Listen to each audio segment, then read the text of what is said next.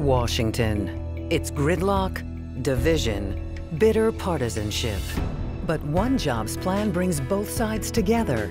Bill Clinton and George Bush both say build the Keystone XL. Warren Buffett, too. So do 78% of Americans and the Wall Street Journal, the Washington Post, USA Today. It makes so much sense, even a divided Congress approved it. Unions and business, too. Tell Senators Udall and Bennet, approve Keystone XL.